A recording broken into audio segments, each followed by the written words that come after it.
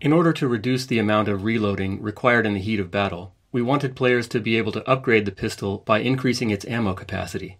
That might seem like a small change, but implementing it in a way that was intuitive to players and that didn't have a lot of negative side effects was surprisingly tricky to get right.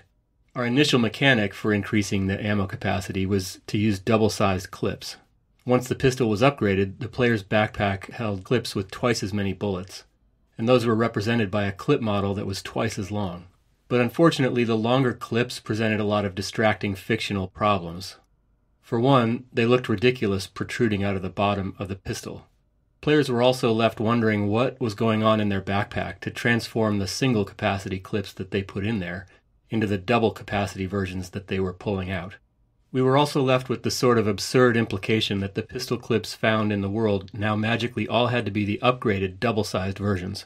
While we did scrap the double sized clips, the concept was still enticing. We just needed to find a better metaphor.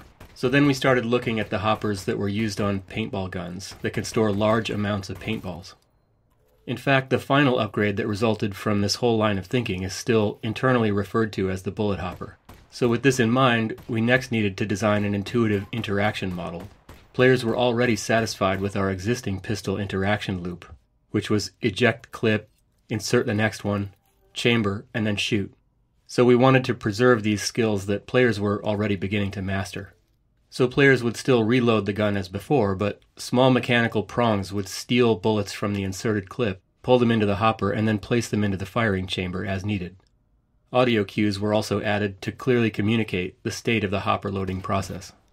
The hopper also impacted the visual design that we used to convey the state of the pistol.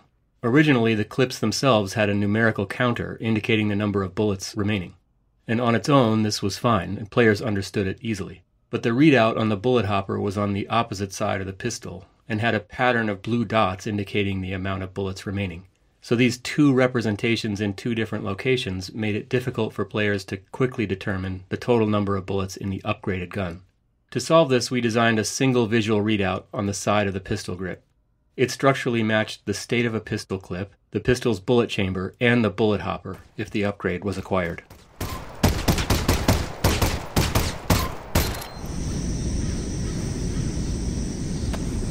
For Half-Life Alyx, we wanted to expand the functionality of our soundscape system, which is used to play ambient sounds. In prior games, we could generally only play one soundscape at a time. The player would be hearing either soundscape A or soundscape B, with a brief crossfade from one to the other. In this game, the soundscapes are much more flexible and can be overlapped in ways that enable more realistic transitions. For example, the volume of different soundscapes can be controlled by the player's position and the open or closed state of particular doors in the world. We frequently use this functionality in areas like this transition between indoor and outdoor spaces. If you pause outside for a moment, you'll notice the crickets, birds, distant dog barks, and other environmental sounds that help paint the picture of the quarantine zone late in the day. As you move into the indoor area, you'll notice the outdoor soundscape diminish as you move away from the door. In fact, if you close the door, the volume of the outdoor soundscape is reduced even further. And as you progress into the building, you'll begin to notice the indoor soundscape consisting of the indistinct hum of machinery and buzz of electrical fixtures.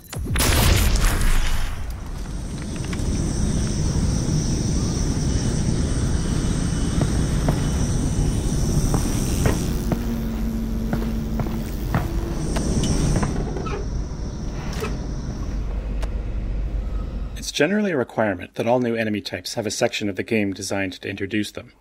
We rarely build the introduction early on in the process, though, because it's often through playtesting that we learn exactly what aspects of the new enemy need to be highlighted in the introduction.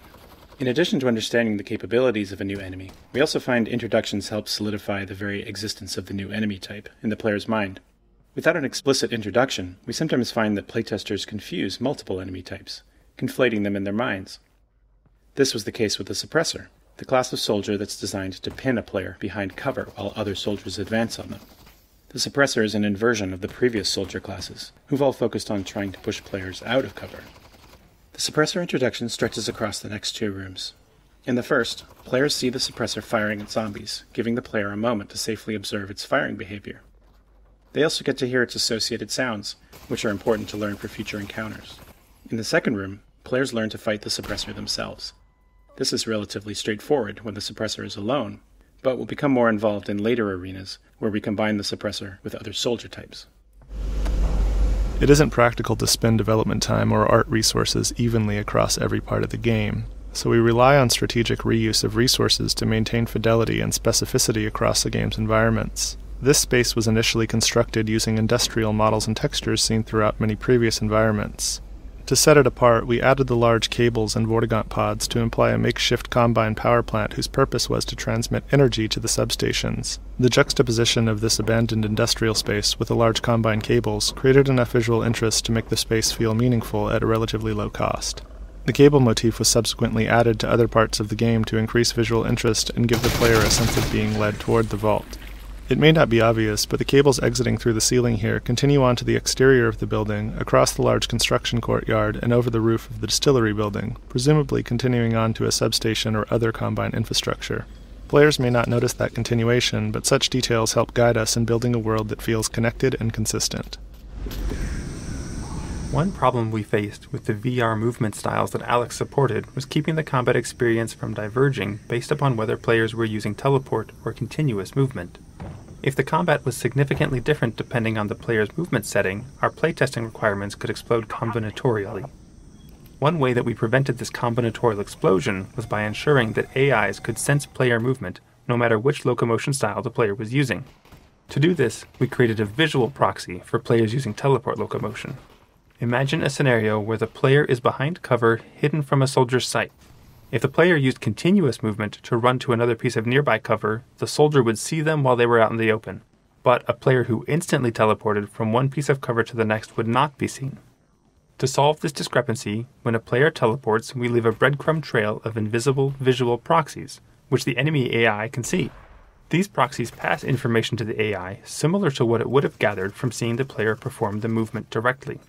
In this case, the soldier would know the teleporting player had left the original cover and run across open ground to the new cover, just like a player using continuous motion. While obviously not identical, in that the soldier didn't have a chance to take a shot at the teleporting player, these kinds of features did allow us to reduce the number of ways our AI logic needed to take player movement options into consideration. For our teleport and continuous locomotion modes, we provide corresponding ladder climbing methods. By default, player using teleport locomotion can target a ladder and after a short timer get teleported to the top or the bottom, depending on where they started. The timer was necessary to ensure that players were intentionally using the ladder. We didn't want them to unintentionally target the ladder and become disoriented when they found themselves at the other hand. Players using continuous locomotion can directly grab ladders to climb up or down. In this mode, they can grab a ladder rung and move their hand down to raise their body, or move their hand up to lower it. This allows players to move up or down the ladder rung by rung in a natural way. This mode turned out to be so popular that we added it as an option even for players using teleport locomotion. As it happens, most of the ladders in our game do not extend very far beyond the upper landing area. This made dismounting the top of a ladder challenging for players using continuous ladder climbing, since there's very little ladder to grab onto above the landing area. To solve this, we detect when the player stops holding the ladder with both hands and automatically teleport them to either the top or the bottom, based on the direction they were climbing. Unfortunately, we don't have a lot of explicit ladder training in the game, so some players are surprised by this teleport behavior if they accidentally let go with both hands while climbing. Nevertheless, this was a better alternative to leaving the players hanging or forcing them to fall down if they let go with both hands, especially since some of our ladders are rather long and it would be tedious to have to reclimb just because a player happened to let go shortly before reaching the top.